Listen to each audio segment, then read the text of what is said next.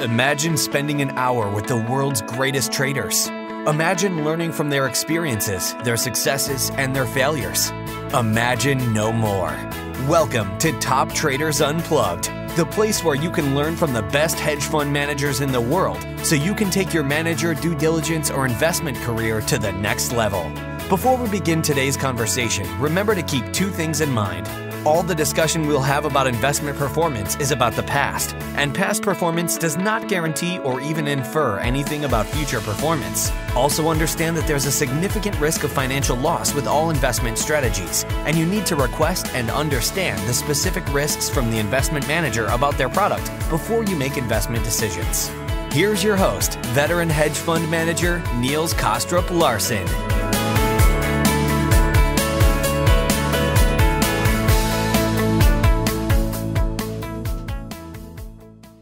You're listening to Top Traders Unplugged, where I continue my conversation with Scot Billington, co founder and managing partner of Covenant Capital Management.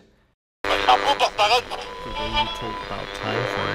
you talk about these long term time frames, and um, yeah, I, I, I, I can imagine it's not easy to get investors to to share that horizon, so to speak, because if you want to take not easy out and replace it with impossible, Yeah. then you'd be correct. yeah, But that's the business that I've chosen. sure, I, I mean, I know full and well that the next time we get hot for mm. 24 months, Yeah. we'll attract a lot of money.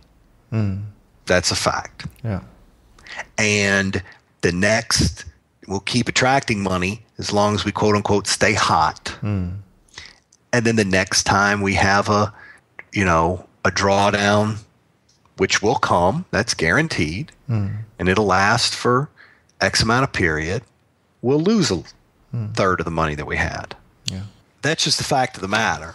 I mean, we attempt, we try, we talk about these things with our clients, but, but it is probable that the Homo sapien is not particularly hardwired very well for trading. Why did you choose such a difficult path, Scot? No one's ever called me a smart person. uh, they're obviously huge advantage. I mean, the the industry is extremely high paying. Yeah, I like the. I've always been interested, you know, interested in.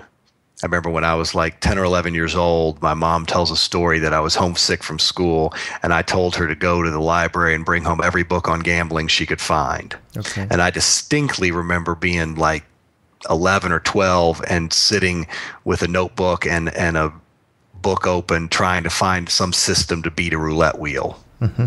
So I've always been attracted and had a, a decent aptitude for for mathematically based but unknown future outcomes. right. And so that that lends it, you know, in our society that that lends itself towards trading and investments.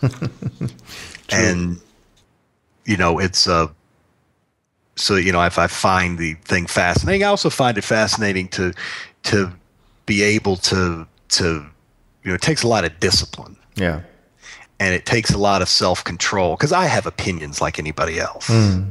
and, and and I will think, oh God, we got this trade. This one can't win. They, they you know, this and that's going to happen, and the Russians invaded this, and this will never win.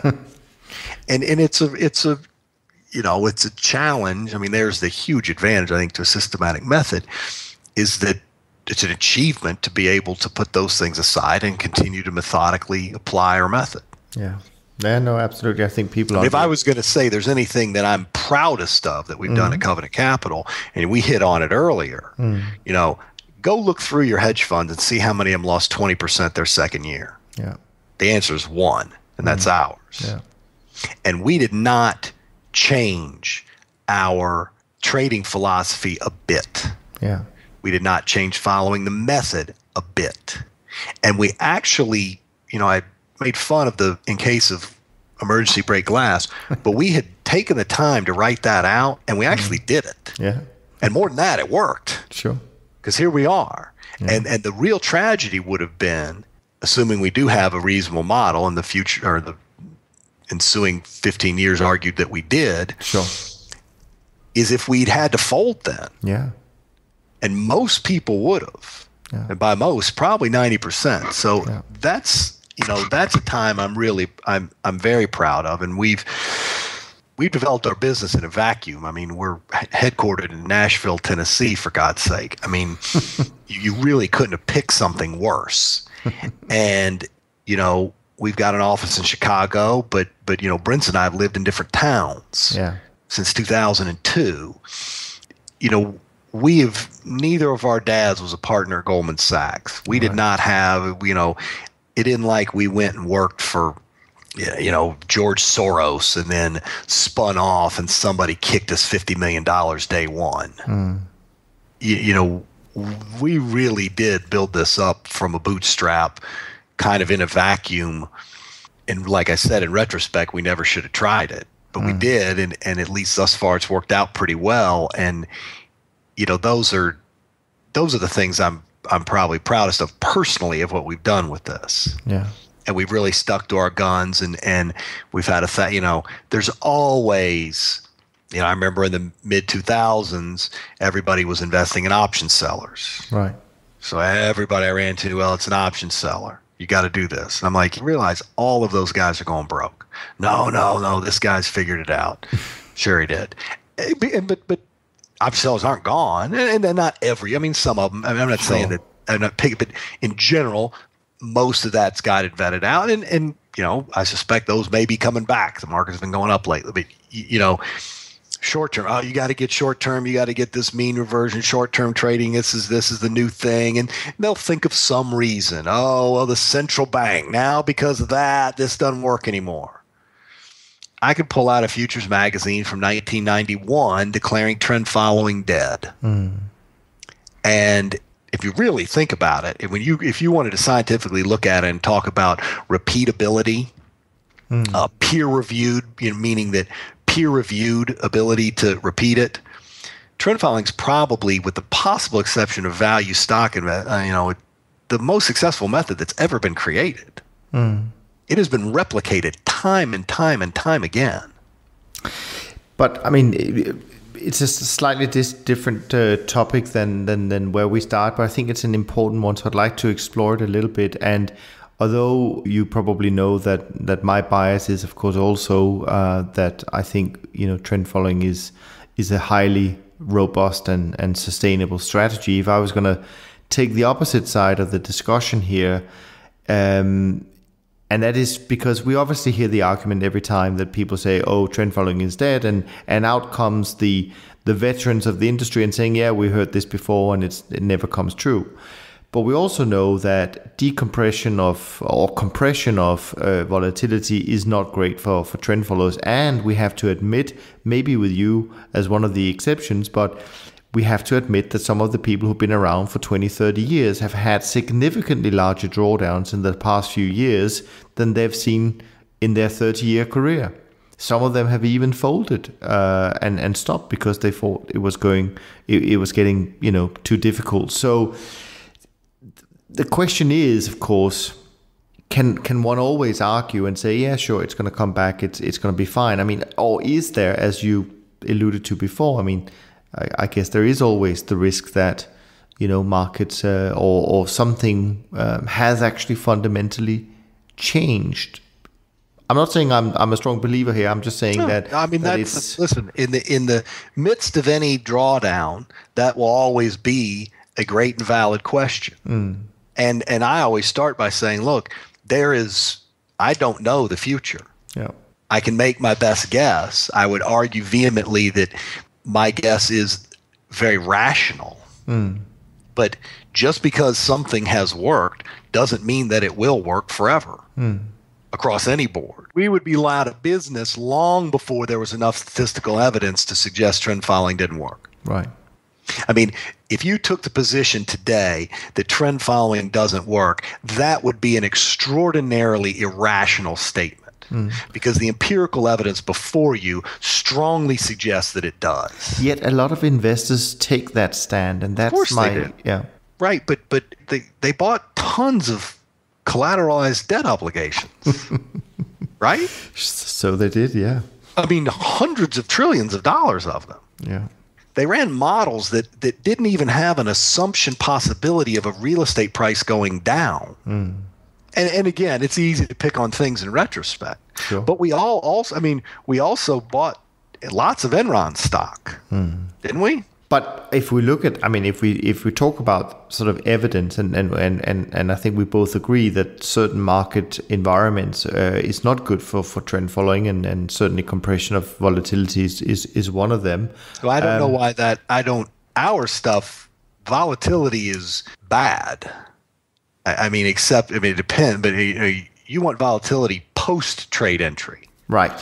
Not pre. Yeah. So volatility pre trade entry is bad. Mm. And and ultimately volatility tends to increase as a trend increases. Mm. So I think people have for years, now I have not studied this, so this is a hypothesis of mine, but I think people have totally it's like lightning makes my driveway wet. Because every time I see lightning, my driveway is wet. Mm. Sure. I, I think that that when silver gets to 50, volatility goes up a lot. Mm. But the trend follower has made money because silver got to 50, not because volatility went up. So it's a correlation right. rather than a causation. Sure. And the best trends, the ones where you make the most smoothest money, are kind of the period bef- right before it goes crazy. Sure. When it just goes up a little bit kind of every single week. Yeah nobody really talks about it for a while, and here it goes and goes. You see what I mean? Yeah. So I, I mean, I think it's a perfect example. I don't think volatility compression. I mean, uh, now, if you mean volatility, meaning the high in crude oil over the last two years is 104 and the low is 89, yes, that's not very good. That's sure. a choppy sideways market. Yeah, it's price range compression, I guess I'm referring okay, now, to. then yeah. sure. The, if there aren't big trends, yeah. then trend followers aren't going to do well. Exactly. Would, that, that would be very difficult to argue against. Yeah, no, absolutely. But I would say this is what people forget is your largest drawdown is always in front of you, mm. except you're going to retire or die at some point, right? Sure. I mean, I mean, if I had traded, let's say that my grandkids went on to trade our method, there will be a far larger drawdown between now and my great grandkids trading my model than I've seen in my model up to now, because mm. it's more time. Yeah. Right. There are more instances. Sure. Now there will also be a winning period better than we've seen. Yeah. So the idea that well someone's having their largest drawdown than they've ever had, therefore this doesn't work. Well, did it not work when they had their last largest drawdown? And why did we think they were never going to have a drawdown larger than their previous largest? Because mm. my returns are going to be distributed and and in any trading, the variance is so much larger than the drift.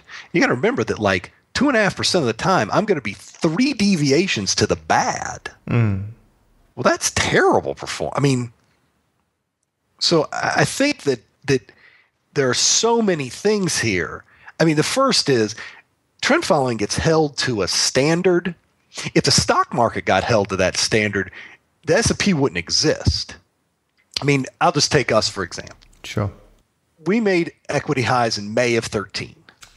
Yeah. Okay. And we're probably, I, I don't keep, you know, 15% off that high. Yeah. And you're questioning, or not you, but, but yeah, yeah. one, like, well, does what you do even work anymore? And, and that's where I get back to the statement is we make our money from the fat tail distribution of price moves, and there's a slight dependency in price moves. Mm. Okay, all trend followers, yep. we would argue, do. Okay. That evidence is evidenced across all markets. We trade yen the same way I trade cotton and cocoa mm. across decades of time.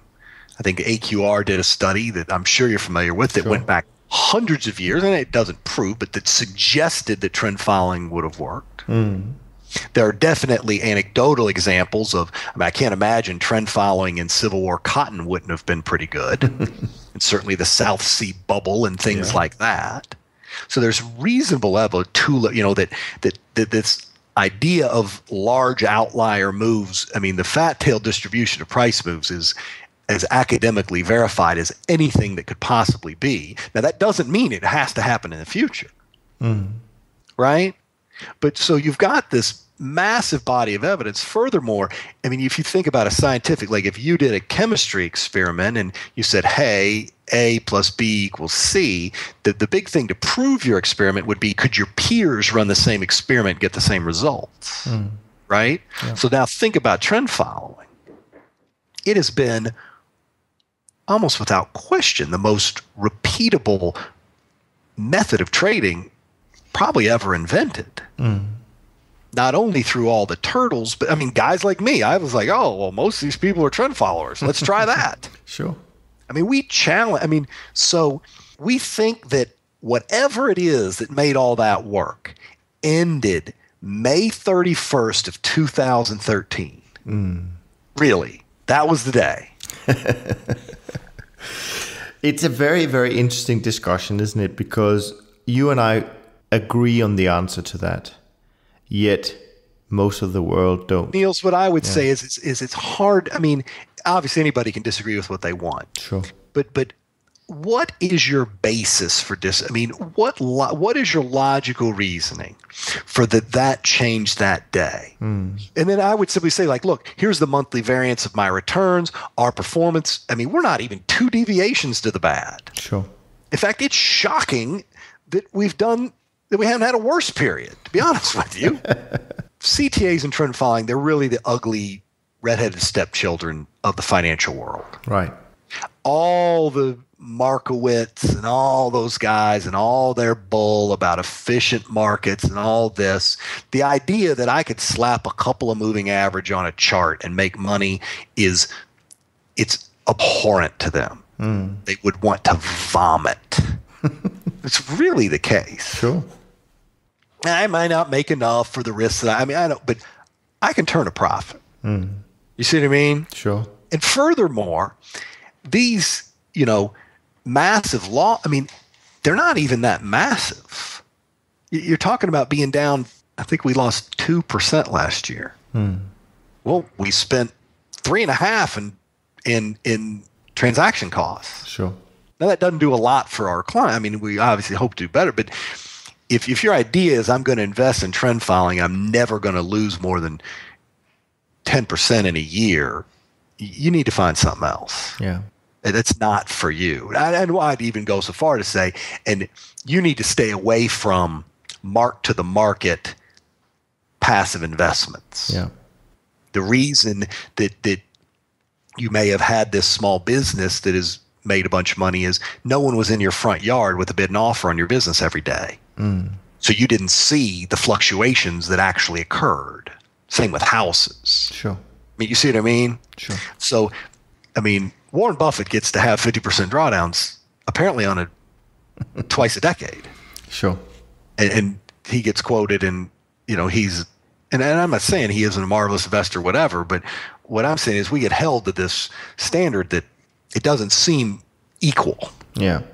Now, um, we've talked about sort of very broadly uh, about the the entries and and so on and so forth, and I, I just want to talk about one more thing about that, and it's a little bit about uh, position sizing. Um, I think a lot of people underestimate the importance of position sizing, but I'm not so sure with your strategy how you view that. I mean, is is part of the success of a system like yours the way you size the positions? Well, once you have a non-random method of entry and exit, and that could be my macroeconomic analysis, mm-hmm.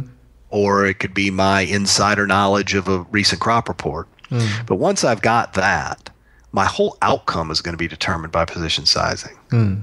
And in fact, I would far rather have a small edge with proper position sizing than vice versa. I mean, in fact, if you missize your positions, you can actually turn a positive expected outcome into a loser. Hmm. Like, let's imagine that you and I were flipping a coin, mm-hmm. and I was going to pay you six to five on heads. Right. But you risk 30% of your bankroll on every flip. Hmm. So you got a thousand dollars and you risk 300 and you win, right? So you Yep. get times 1.2, you get 360. Now you got 1360. You risk 30%. That's 408 and you lose. Hmm. You're down to 952. You have edge and you did not have bad luck. The hmm. expected outcome came, Sure. but you lost money Yeah. because you're risking too much.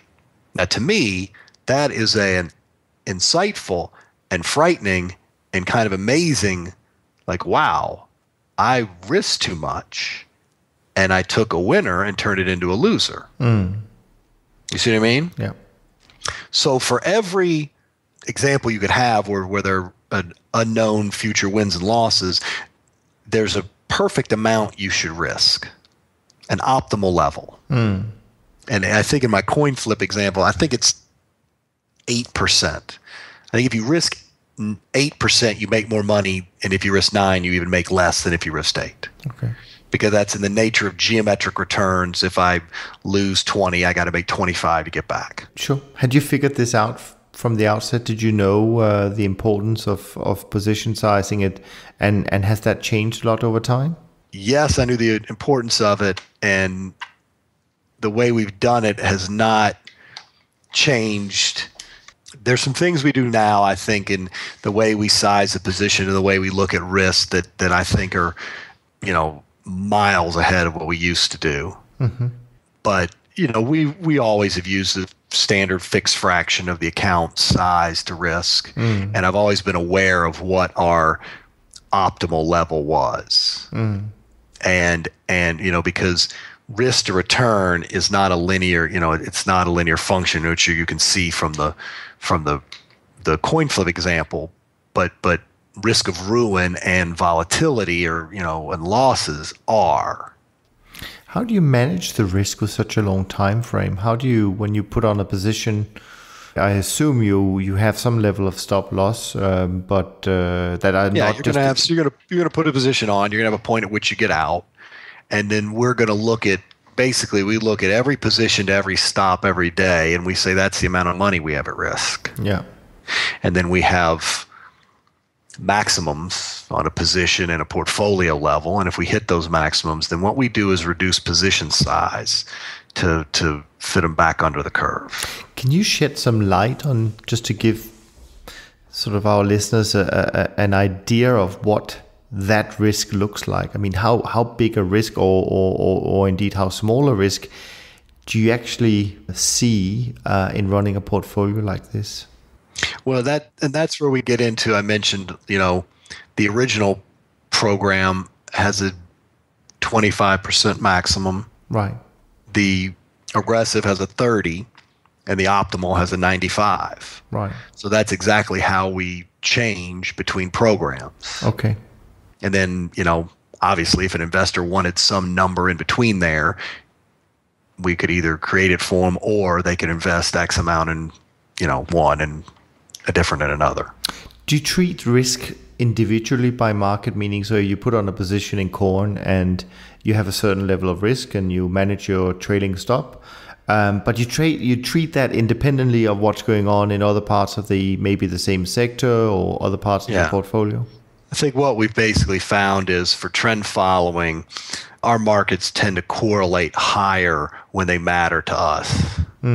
So, like when I'm in a position, that's I mean, I don't care about corn and silver's correlation when when I'm not in them, Yeah. right? And I really don't care when I'm in them. The main time they're going to be, you know, risk is going to build in a position as a trend goes our way. Hmm. So our stop's not going to move up as quickly as the market might move in our favor. Sure. So when the risk of positions really matters to us is when they're in the midst of, of decent sized winning trades. Right? Because Yeah. risk is built up in, in multiple positions at the same time. Yeah. And what we found is is when that occurs, the correlations of the markets increase. So that, you know, silver and corn might show. n- I mean, the, the example I remember the best is in 2005. Right. We had a huge winning trade in the Nikkei and a huge winning trade in sugar. Mm-hmm. And you couldn't probably think of two markets you would think were more different, would be more zero. But I can promise you, when we were in them and those big trades were running up, they were correlated as they could. I mean, they were dead step and step. Right, right. And so what we think is when you do your sec, we basically assume that every sector is highly correlated. Okay. So when we look at it, we look at it on an individual position. Mm. Because again, we're looking at that optimal level. We're saying, I know in our method that I never want to risk more than X on a given position. Because mm. that would be like risking the 30% in the coin flip. Mm. You see what I mean? Yeah. So I'm never going to let an individual. And I also know as a portfolio as a whole, I never want to risk more. You know, you know the way we're going to control drawdown is at no time from an equity high are we ever going to risk more than a preset level of your account's value. Mm.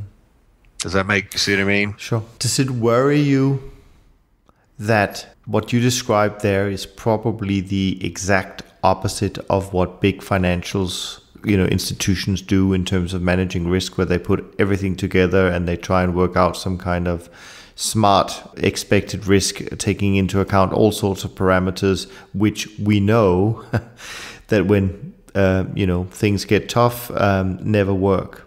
Well then no. How are they done with that? Yeah. I mean that's we look at risk as, as a on a much what i i mean there's no reason for me to look at a derivative risk. Right. I know where the market is and i know where i'm getting out. Yeah. That's the money i have at risk. Mm. So that's the money that needs to be that needs to be controlled. Yeah. And so I, I don't know why i would go a step beyond that.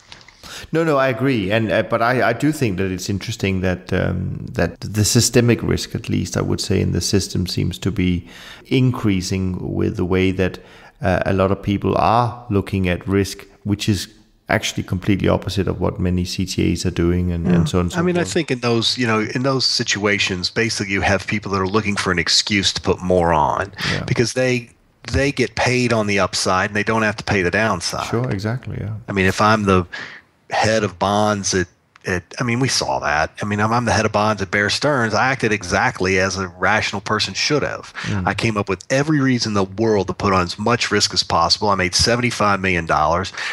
My company went bankrupt and I walked away with $52 million. Yeah. Like, that's a winner. And then, really, if you think about it, none of them ever had any edge. They were all trading randomly. Sure. But they got to, you know, so way they set up a, a they they chose a trading method with a high frequency of winners and a terrible winner to loser ratio. Mm. And they knew, like, if you said to me, hey, I got your daughter captive and you need to make 20% next year, period, like, or the next six months, you sure. got to make 20% and your daughter's captive or, or she's done for. Mm. I would immediately start selling options Sure. because I know that's the highest likelihood of my making 20%. Mm. And my making 15 and my losing 100, they have the same outcome. Sure. My daughter's in trouble. Sure. Sure. Well, that's the that that's an officer with a, any publicly traded financial firm. Yeah. They Is have basically the same deal. Yeah. Is there anything that you worry about, Scot, when you sort of uh, go to sleep at night in terms of risk, and when you when you look at sort of your your own methodology, or or are you just completely comfortable with you know the way it's designed and, and, and tested, or is there something where you can see, yeah, if, if this happened, you know, that that wouldn't be good? Well, sure. I mean, we've got positions in markets, and and we've had mornings that weren't good. Yeah. lots of them, and we'll have lots more. Hmm. But that I, I think what I try to get comfortable with, and I don't want anybody to sound like I'm the Buddha or something, and I don't have emotional reactions to wins and losses. But hmm.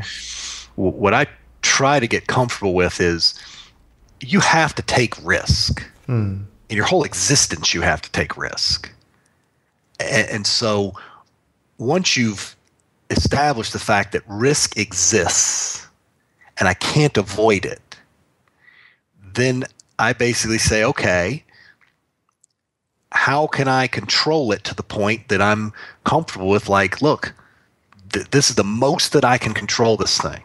You know, I mean, I would tell a client, don't invest more than you can lose. Mm. I don't. So in our own programs, I've got an amount invested that if I lost it, I wouldn't like it. I mean, but it, my family and all is going to be more or less okay. Mm. I mean, I don't, and we we don't borrow any. I mean, you know, we do think. I mean, I do things to try to be robust. And at the end of the day, I look at it and I say, hey, we have stops in place. I know that we could get gapped through them, but they're the gaps are, you know, we've got a risk level that I'm comfortable with taking, knowing full and well if I trade long enough, eventually we'll lose most of what we, you know, have at risk someday. Mm. If you trade long enough, I mean, I, I I would probably take three generations of my trading for that day to occur, but it could occur tomorrow. Mm. Right? But then the idea is is that I mean, you know, there, there's a business side of thing and a trading side of thing. Yeah. For my own trading, what I realize is is I, I don't put every dollar that I could put into our program into the program because if something like that happened, I would want to have dry powder left that I could still invest. Yeah. That makes sense? Sure.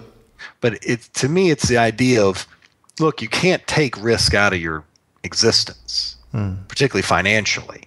I mean, how uh, those Weimar Deutschmarks don't spend very well these days. Like, you, you know, you, you just don't know what the next 10 years might hold Sure. Absolutely. even five years. I mean, well, the one thing you can probably be assured of is things will happen, both good and bad, that are better and worse than you imagined could have happened. Sure. Sure. A- And so, that having been said, we take a, a risk level that we're very comfortable with, Yeah. and and our money? Is at risk? Side by side with our clients' money, hmm. and and you know, I am a big believer in the barbell strategy, which is very little money at risk, but the money that it's at risk is in the most aggressive things that it can be in. Hmm.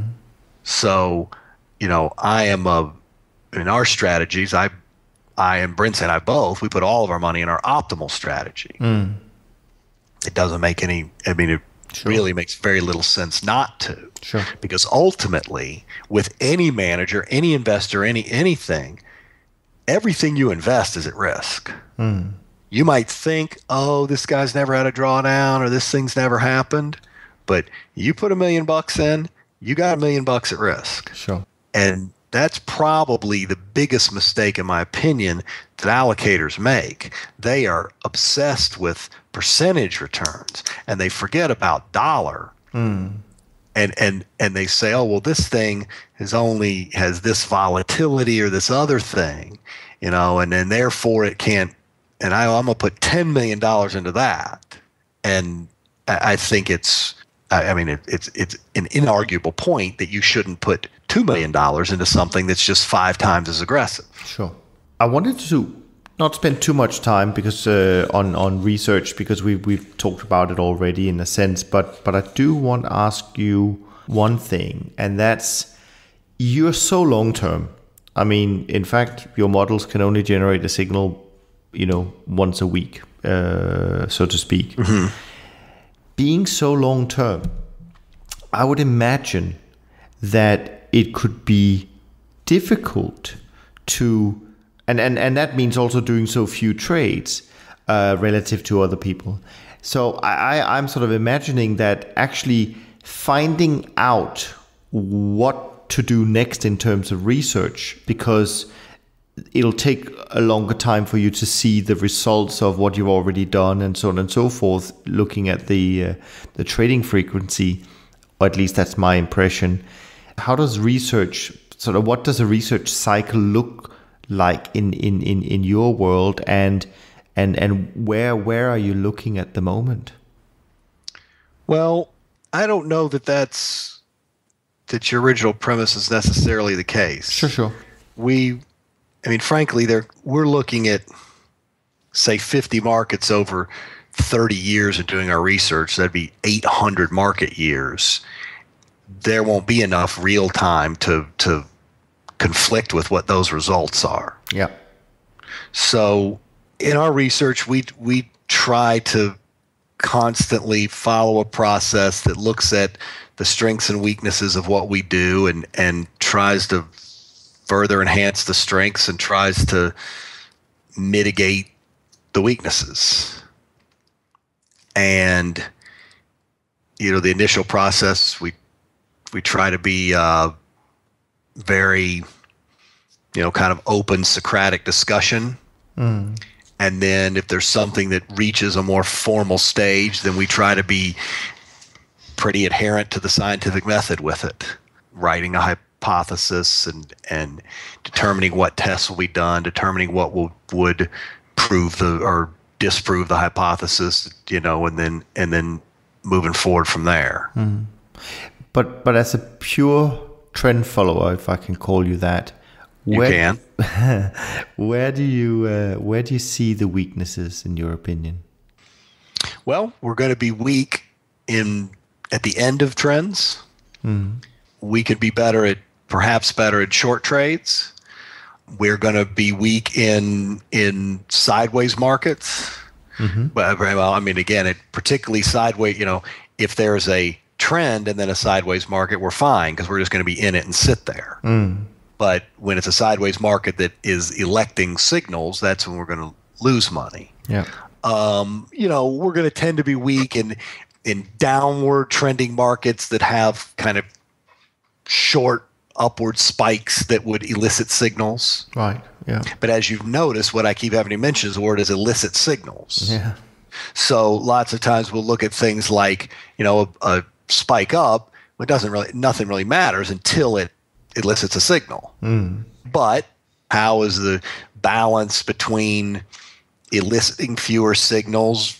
You know, there are also some advantages to taking more signals. So hmm. So those kind of market environments, how do we do in those periods? Or you know, are we mitigating our losses as best we can, or are we are we maximizing our wins? Is you know what what I basically have found is is that if you were a cotton trader, nothing really mattered other than how you traded that move up to almost two dollars a few years ago. Sure. You know what I mean? Yeah. I mean, you could have traded the heck out of it from 65 to 73 cents your whole life. But if you got on the wrong side of that, you lost every, I think Billy Dunham actually did, every nickel you ever made, you lost. Hmm. You see what I mean? Sure. And so if you were a mortgage trader, it doesn't matter how you did, other than 2008. Did you get out? Right.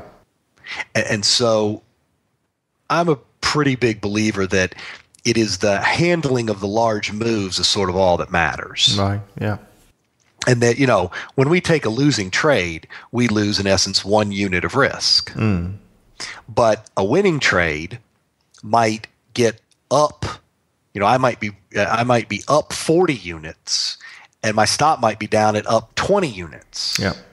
Well, that one trade is the equivalent of 20 losers. Yeah. And if I got twice the position size on, that might make an 80 unit or a 40 unit. You see what I mean? Sure. Sure. So it's the the management and and position size and stop and create that kind of stuff. It's the management of your of your huge winners. Th those are super impactful. Mm. And, and so those there's other places is, is how can you manage those better intra trade yeah, that kind of thing. I mean, obviously, I mean, I mean, you see what I mean? Like, if I were able to avoid five losing trades, Sure. Well, if I could just capture a quarter of that extra profit on that big one I just mentioned, Yeah. that eviscerates being able to live, you know, those five losing trades. Yeah. What's a good win ratio for you? Uh, 30. Okay. Percent, 33. Okay. Now, on the sort of more business side of things, I mean, you mentioned that Nashville is uh, a difficult place to to. Uh, I mean, great music, but maybe a difficult place to uh, to be a CTA. And um, we talked about the long time frame and the patience that you're asking investors to have, which doesn't make it easier.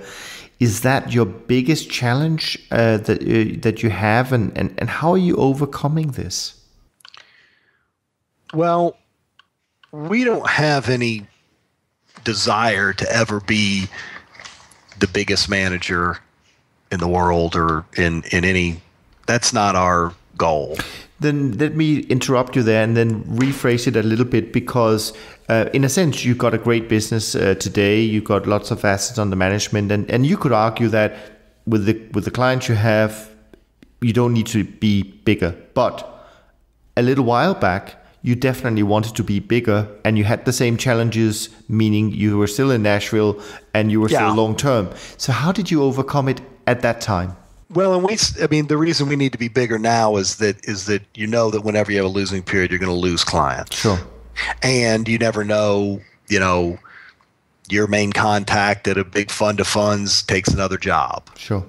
or retire, you know. So, I mean, you need to build a buffer and we and we wouldn't mind being, I'd say, growing once again, or you know, you know, I, I really look, you know, for in fact, our original and aggressive optimal programs, if if you normalize their size to original, if they're at 175 million or whatever, we probably wouldn't mind being 500 million. So there, there's more growth that that we would like to have. Um, so So, how do we get there? do how do we get there? Is is we have to understand who we are and and who we're not Yeah. and we have to understand that we're a boutique. We are going to be attractive to certain people, and and there are other people that we're never going to be attractive to, Right. and that they and and we need to not spend any resources and time or money or whatever trying to chase those people that you know. I do not have a science degree from a Ivy League institution, nor am I going to. And so I could hire a bunch of people that did, but ultimately, that's just not a, a place in which we're attempting to fight. Right. We think that we are a very attractive option for a certain number of investors, and that there are enough of those investors for us to manage the amount of money we'd like to. Hmm. And so we need to make sure that those investors know that we exist. Right. and they know that we exist so that when they decide that they want some exposure to what we do that they're aware of us. Mm. And that they have a, a positive image of us and that they have an accurate image of us. Mm-hmm. What do you think investors like the most about you, if I can ask you that question? Well, let me put it this way when you do get investors on board, what do you think convinced them that this this is something I should be invested in? Because the trend following space is it can be very very hard to distinguish one you know strategy from another. They on the surface can look very similar, yet they're probably not. But what what do you think people latch on to when they look at you guys? I mean, is it it could also be personal. I mean, personal reasons, you know. I, other than my charming personality i uh, i think i mean ultimately we've done better than most trend followers Right. and and I think ultimately that's is something people are attracted to. Uh, I think secondly that yeah, even maybe even primarily, and in, in addition, I think there are certain people that are attracted to the boutique. Right. There are a lot of uh, academic type articles that have come out in the last couple years that make some pretty strong persuasive arguments for managers that are exactly the way we would def- define boutique. Right. They're small enough to still be able to be nimble and use their trading strategies, but they're large enough that you don't have that they're not working out of their, their mom's garage. Yeah. And so that there are some pretty strong arguments there and that and that so as those people if you're a fund to fund or an allocator or somebody like that as you're trying to differentiate yourself from your peers they have to look at it and say okay well if i go invest with the same eight giant managers i, I can't do better than the guys i'm trying to compete with so i have to offer something different Yeah. if you're a huge uh, and this, you know these aren't really the people we go after, but if you're a large pensiony kind of person, you might look at it and say, you know what, I've got a lot of trend following beta from these giant managers. I can get that through one of these one and zero mutual funds. I'm going to go out and get some more, spe- you know, a, a group of more specialized or or of boutique guys that can maybe deliver a little bit different return stream the other thing where we found that we have the most success is is that the closer we are to the person whose money it really is, the better we tend to do. Mm. So, if you're a consultant that's consulting a fund to fund who's you know, and there are nine different intermediaries between the owners of the money and the trades being made, that doesn't tend to be our best prospect. Mm. But if it's your money, they tend to like us a lot better mm. because then they aren't thinking about how can I explain this to my investment board if it doesn't go well. Mm. They are thinking, does this guy have my best interest at heart? Is this guy honest? And does what he's saying make sense? Yeah. You see what I mean? Sure. And, and those are far different. And, and I don't hear that as critical of one or the other. They're far different people with a far different set of motivations. But we have found that the the closer we are to the actual money, the better we the, the better our message sounds. And so it's our you know our job is to to I mean our job is to run our business economically enough that that we don't need five hundred million dollars to run it. That we can thrive as a business with fifty million dollars. So we try to do that. And then we need to make sure that the people who will find us interesting know about us. Yeah. Speaking of investors, um, when you meet them, when you talk to them, what are the questions that they are not asking you that you think that they really should ask you? I don't think they ask enough qualitative questions. Like um, what? Like what? Give me an example. What? What? How many parameters do you use in your method? Right. If you change your parameters by 5%, what kind of effect does that have on your returns? Hmm. Let me see your back adjusted returns. Okay, now I want you to change this parameter and this one by 8% one way and 4% the other way. Let me see those. Would you do that? Well, sure. Okay. I mean, but I mean, because now I'm speaking to robustness. Mm. How, why did you pick the number that you picked? Mm. Meaning, if I'm if I'm using a 50 day window for whatever, whatever, well, how did I pick 50? Yeah. Well, how did 49 do? Mm. How's 45 do? How does 40 do? And what you know, you're what you're really hoping for there is a is a smooth kind of plateau Sure. and hopefully they've picked in the middle. That vein of question that that pushes out for repeatability and robustness as opposed to how do you protect your server? Well, what if somebody breaks into your office and gets Jonah's laptop? Hmm. And again, those are fine questions. I mean, you need to you need to thought of that. But there does seem to be a bit of, you know, we'll have entire weekends on operational due diligence. Hmm. And then the trading due diligence is pretty you get about the same thing every time. Yeah. i would also say is that I, I think probably they should have people with trading experience running those. Yeah. not allocation exp- actual that have done their own trading and and then they could bring up other pitfalls. Hmm. For instance if we traded a lot they should say how do you handle costs hmm. We don't trade a lot so the weakness of not trading a lot is we don't get a lot of compounding we don't get enough instances hmm. so then they would say okay so one of the weaknesses of your prop model is since you are what i found in trading there's never a give without a take hmm. so I want to minimize my cost to gross trade outcome ratio. Right. And to do that, I'm going to have to give up the number of instances I get in a given time period. Of course. It, number one, am I even aware of that? Yeah. Sure. And and I would guess, you know, que- questions along, Along those, those lines. Sure. Sure. I think you've hit on some interesting things like when did you make these changes? I think looking at a back test of the current model rather than, eh, not rather than in combination Of with course. the, the realized returns, getting into what were your luckiest periods? Yeah. Because it's true. Like, Sure.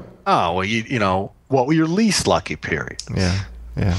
if you really wanted to get into it, I would get in. I would take each parameter out, look at them individually, look at them, and you know, I don't know that we would. That's the way I would. You know, when those guys come to me, I mean, the first thing that happens when people come to me with their methods, and they're always short term, is I always say, okay, what's your winning percentage? Hmm. It's always over fifty. Hmm. What's your winner loser ratio? Oh, it's two to one. Hmm. I'm like, so you make 60% of your winners and it's two to one, and you do 6,000 trades a year. yeah. And then I go, why are you talking to me? Yeah. Because if you took $25,000 and traded that for nine months, you would have $86 billion. And hmm. and it's literally always something like that. and like so, and maybe that does work. I, am not saying it doesn't, but sure. you certainly don't need me. You need 25 grand. Yeah, in fact, 10 grand. I mean, you know, and, and so you know that's usually it. And then if it gets past that, I'll say, okay, well, what's your first input? Mm. I don't. It's proprietary. I'm like, okay, well, you don't have to tell me what it is, but tell me what the edge of this input is. Right. What is this input versus trades without this input? Mm. You don't even need to. You, you see what I mean? Yeah. Walking through that piece by piece for each parameter, you know, I would never take you know limited parameters do you trade this on all markets? Mm. No, the only the S and P. Well, does it work on the Dow and the Nasdaq? I mean, hopefully that one at least is yes. well, does it work on Euro Stoxx and Nikkei? I mean, maybe you could make an argument that equity markets, eh, may, you know, well, have you tried it on silver? Well, why, you know, you know that kind of thing again towards robustness. Hmm. I want to jump to sort of the last section of uh, of our conversation, and I I call it general and fun, and uh, it's partly sharing your experience, partly getting to know certain things about yourself. But I want to start off by just asking I mean, you've been there, you've done it, and um, you've seen probably, you know, both all the ups and, and all the downs. What what advice would you give to someone aspiring to start today, you know, 15 years after you started and with a probably a different uh, you know it's a it's a different ball game out there today. What what advice would you uh, would you give them? Well i would probably i would talk first about their business plan. Do you have enough money enough operational capital to last for 5 years without any income? Right. If you don't you need to go raise that. Yeah. That's going to be i mean that that alone is going to solve a lot of your problems yeah. Uh, what are your goals? How big do you want to be? Mm.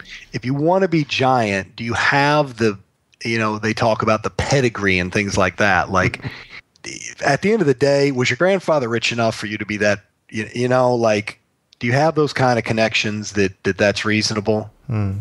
And if not, then you probably need to change your goals back. Yeah. Because I can promise you, you could return 30% a year for a decade. I mean, maybe not for, but in 1999, if you had told me we did as well trading as we've done, I would have thought that I would have had probably a hundred times more money than I have. Yeah. And that isn't to say, I mean, we've been successful. It's great. Sure. I'm, but, but if you'd said, oh, well, you'll do this over this period, I'd have been like, oh, well, I'll have my own Learjet. Like, yeah. and so first is you got to make sure you got enough money to let your business you know, I think about the old Charlie Brown. I, do you guys know Charlie Brown? Sure. That Christmas, the old Christmas tree one, they hang that ornament on it and it droops all the way over. I think if any new business is like a small tree. It cannot take a tire swing yet. Right. And the needing to support a family and yourself on that kind of income from that business is like a tire swing. Mm. So by having enough operational capital that you can exist for uh, I like five years, that's going to give your tree time to sprout roots and grow and and not put immediate pressure on it. Mm. Do you have, you know, in the partners that you've brought in, or you know, if there is a team, do you have a, a sales a person that's kind of more of a natural born salesman? Mm. If so, that's going to be useful. Do you have somebody that has a reputable science degree, that's going to be useful. Uh, can you program? And you know, I'm none of these things, but but uh, in other words, look at me and then do the opposite. Um, because programming is, you know, that's going to be an irreplaceable tool. Sure. Is part of your success just out of curiosity, and and this is with the warmest intention I ask this question. Mm-hmm. Is part of the success in a partnership the fact, in a sense, that you and Brent actually live apart. Do you know what I mean? It's kind of like you know, uh, uh, in a marriage, you know, sometimes you do need to get away from each other to yeah. uh, to make it work. Brent and I were really good friends before we were business partners. Yeah. And before becoming business partners, we spent a lot of time making sure that our philosophies and goals for the company matched. Yeah. And we still spend a lot of time every year going over what are your goals for this company? What are your goals personally? Where are you financially? Hmm. In our operating agreement, neither one of us is allowed to take on personal debt without the other's okay. Right. And and so I think we were pretty smart in laying that stuff out. We've written every, you know, even though we were friends, Yeah. we wrote every agreement down because Yeah. you forget. Yeah. Our outlooks on things matched very well from the get go. Hmm. And we have spent a lot of time making certain that, you know, when we started the business, we were both single and I could live in a, you know, 55 square foot apartment Sure. with occasionally running water. Yeah. And, and, you know, now, you know, when you start adding families and children and, and as those things change, we need to stay on top of, you know, before Scot managing 150 million was enough for you. Mm. Is that, or is that too much? Yeah. would you rather you, you know because that's going to come with more time i mean you know Sure. how do you want this to be i mean we uh, we existed we didn't hire we probably existed for seven or eight years before we hired our first employee Yeah. and now we have them do things that we would rather not spend time doing Sure. uh, you know and, and so and we've hired them for skill sets that that they have that we don't so i i think uh a very honest and making sure that you fit. There are definitely people who i like a lot as people hmm. that i could never be business partners with. Yeah. and if Brent's and my financial goals diverged sharply, hmm. you know that you know that would that we'd have to really spend time talking what that about what that meant. Yeah. because you know the the size of firm you're going for is gonna is gonna you know if Brent said you know what I want to buy the Cubs and so I need to make two billion dollars Yeah. well, we're going to then have to, you know, then now stuff's going to have to change, you know, like going to have to change, going to have to change a lot. Yeah. And then we're going to have to, you know, hire and, and, and I don't know that I'd be necessarily that psyched about a lot, you know, I mean, that, that, that would be very different. Or if he said, you know what, Scot, I, I'd be perfectly happy trading $10 million. Sure. Well, I want to manage more than that, you know. So, Yeah, yeah. you know, although I can remember the day when managing ten million dollars seemed like, oh my gosh, if I could ever just manage Yeah. ten million dollars, it would just be. And so, you know, I, I think all of those things have to match very well on a business side, Mm. and so you know, the advice I would give someone is first you have to go through your trading model Mm. like that. Then you've got to go through your business plan like that. Yeah. But I would probably, if they had designs on being, you know, a $10 billion firm, unless they were well connected and already had the, the, you know, the things that help you up that ladder, I would strongly discourage it Yeah. And in fact, in general, I would probably discourage it now. It, it's a it's a hard business to to well, I mean, it pays a lot, so it's you know, it's like being an actor. Like you know, it, it's it's hard, and you need some. You're going to need some good luck Yeah. because you're not going to attract any money until you have a couple lucky years Sure. because your expected isn't going to be good enough because someone's going to be getting lucky. Yeah. You see what I mean? Sure. Sure. And and you know so I, I think that rather than starting it the way we did it's probably advisable to spend some time working with some smaller and then larger firms and try and making those kind of contacts and trying to spin it out from there Do you have any personal habits that you uh, think have been part of your success? Something you do every day, uh, or or maybe your di- maybe your discipline. I don't know what it might be. i you know a lot of people try to i read some books and things that, that a lot of people try to make trading out to be something that's almost like mystical. And i'm sure in your travels you've run it i'm not a big i, I don't go for that. Hmm. I you know to me again it gets down to something pretty simple. You've got to have a non-random way of entering and exiting markets. Hmm. From there, you have to appropriately risk given the amount of edge or non randomness you can capture. Yeah. The more you've got, and and winning percentage does come into play here. But the more you've got, uh, the little bit more you can risk. And more importantly, then you've got to have the discipline to follow the thing that you know works.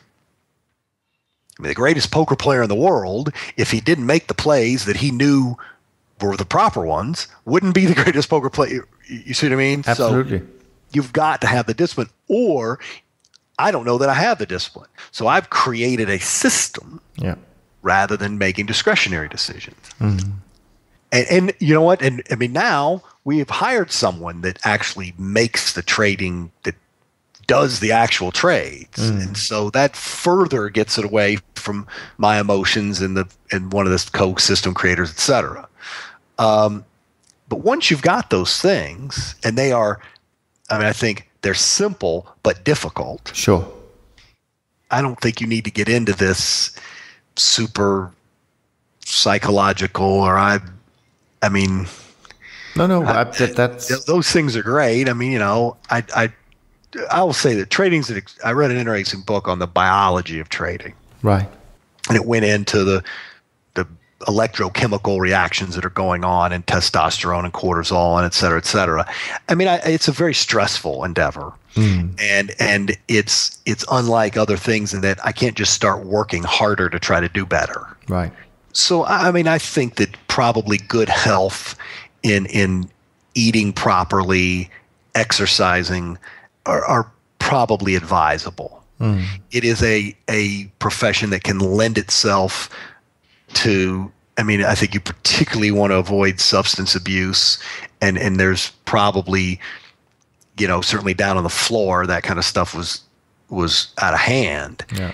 but you know there's this kind of cowboy mentality that goes with it that's really a myth but but that you would probably want to not you know you want to avoid that stuff anyways but you particularly would want to avoid it if you were being a, if you were a trader Sure. you know I, I think that keeping your you know what i would call your brain chemistry. Keeping your yourself healthy is something i you know pay particular attention to and and it's possibly helped me but th- i mean that doesn't mean that a No, no. 400 pound chain smoker couldn't also follow our system. So I, you know i you know i i don't know. And i you know i think it's funny like the oh i played chess with somebody to see i, I you know i don't know about all that. I mean i remember on the floor we would give them a pretty basic a few pretty basic i mean i think you need to have an analytical mind. You need to be good with probabilistic thinking. And i think you need to be there's a balance i I mean getting out of losing trades is pretty important. Yeah. and so you, you need to not be so arrogant that you can't stand i mean i lose 70% of our Sure, trades. sure. so you got to be okay with with admitting when you're wrong and and y- you know but but I think a probabilistic is the best way to look at it where you realize like you know if you take sports like if a coach makes a decision and the team wins that doesn't make that decision right. Hmm. The, it could make the wrong decision. The team could have gotten lucky and won you need to think of it as if we played this game from this point on 10,000 times and he made this decision 5,000 and he didn't make this decision 5,000, what are the outcomes there? I would say if your general thought process lends itself to that way of thinking, you you probably have a have a you know you you'd probably rather have that characteristic than not. Sure. I've only got actually two questions left that I wanted to uh, briefly ask you, and and one is, you know, very simple: whether there is a fun fact that you can share about yourself, maybe even something that Brent does not know about you, even though you spent hours and hours together and know each other. Is there anything that you uh, can think of? I did not have a cell phone until I was 30 40 years old. Okay. and my wife was I did not get married till late in life and and my wife was pregnant with our daughter and she finally said listen this silliness has to end Uh, but so I did not I am in general a I much prefer a, a pad and paper and pencil Yeah. to you know I had to go out and buy this headset today to when I talk with you. and I had you know I'm uh I had Skype but I had one other person on it I had Yeah. one friend that that wanted me to to Skype him to look at something. Sure. And actually, he was an aspiring trader. He wanted me to be able to look at his computer.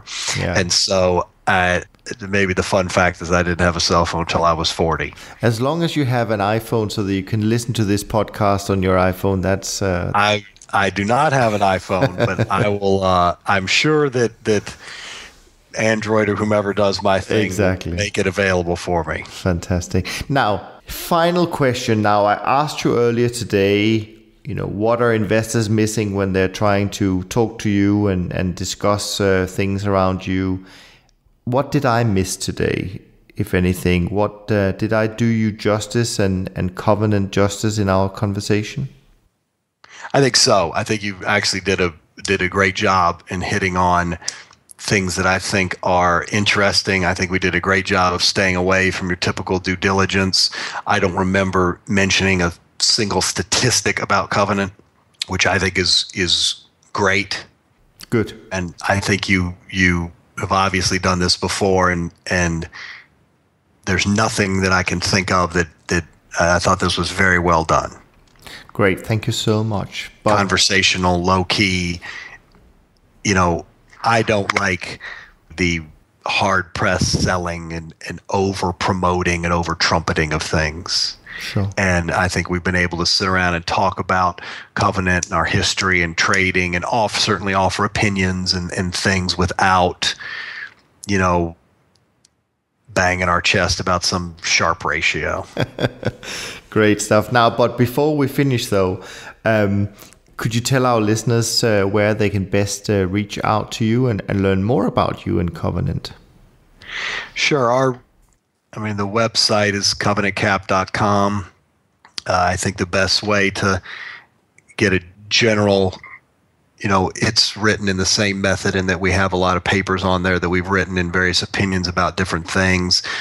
We try not to just throw up a bunch of statistics on somebody. And, you know, if somebody went there and found it interesting and, and wanted to talk further about investment, uh, I think a, a call to the head office in Nashville would be the second step. Great stuff. And of course, our listeners can also find all the details about our conversation today in the show notes uh, for this episode on toptradersunplugged.com. And I uh, I also want to mention that for those who listen to this who are on the mailing list, they will receive uh, an email where there is a link, and this link can be used to say thank you to Scot for sharing his story, his expertise, and I really encourage you to do so. So let me be the first Scot to say thank you ever so much. I thoroughly enjoyed it. I think it was incredibly interesting to to uh, take a different approach like we did today, um, but still be incredibly transparent and uh, and sharing your insights about uh, what you feel strongly about. And I think for people who listen carefully, they would have picked up quite a lot of really important information. So uh, I do appreciate that, and and I hope we can connect at a later date and and see how how things are working out. Great, Niels. Thank you very much for your time, and uh, I really like these uh, interviews you're putting forward, and uh, and thanks again. You're welcome. All the best, Scot. Take care. Thank you. Thanks for listening to Top Traders Unplugged. If you feel you learned something of value from today's episode, the best way to stay updated is to go on over to iTunes and subscribe to the show so that you'll be sure to get all the new episodes as they're released. We have some amazing guests lined up for you, and to ensure our show continues to grow, please leave us an honest rating and review in iTunes. It only takes a minute, and it's the best way to show us you love the podcast. We'll see you next time on Top Traders Unplugged.